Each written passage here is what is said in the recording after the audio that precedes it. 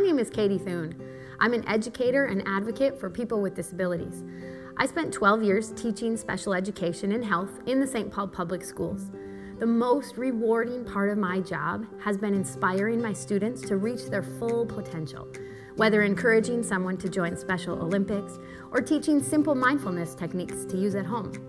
My passion and joy come from helping people with disabilities improve their quality of life. Sexuality for All Abilities was designed as a much needed educational resource for people with disabilities and their advocates to learn about sexual health. I know sexuality can be sensitive and uncomfortable to talk about, but our hope is by providing you with more complete understanding and tested training techniques, we can help to empower self advocates and decrease the stigma of sexuality and disability.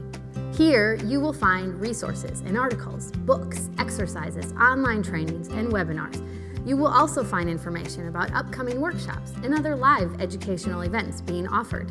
We will be updating the site regularly, so please continue to stay in touch. The best way to stay in touch is by signing up for our mailing list.